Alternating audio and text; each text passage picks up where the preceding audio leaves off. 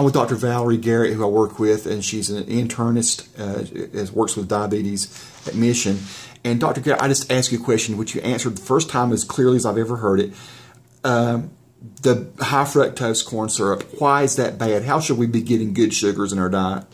So that's very, very interesting, actually. High fructose corn syrup is unique in that when we consume it, and one can imagine a small drink or a large drink or a supersized drink, uh, it doesn't in any way suppress our appetite. And it's in a lot of the soft drinks. It's in a lot of soft drinks. It's especially in like sort of fountain sodas and concentrated sweets you might buy at the supermarket.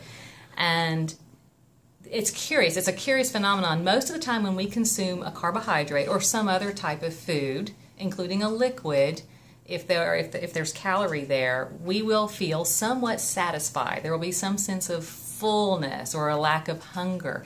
High fructose corn syrup doesn't do that. High fructose corn syrup is just like almost like pretend calories, except so very not. So the reason to avoid it is because you will not reduce your carbohydrate load elsewhere. You will not reduce your caloric intake elsewhere. You will continue to eat and eat and eat because there's no satiety, there's no satisfaction. It does not satisfy. It just packs on calories and makes your blood sugar go up. And makes your blood sugar up. Contrast that to something that's like a better kind of sugar, uh, like the sugars and fruits. Right. So Sugars and fruits, sometimes they're also fructose, right? Um, however, they are in a less concentrated form.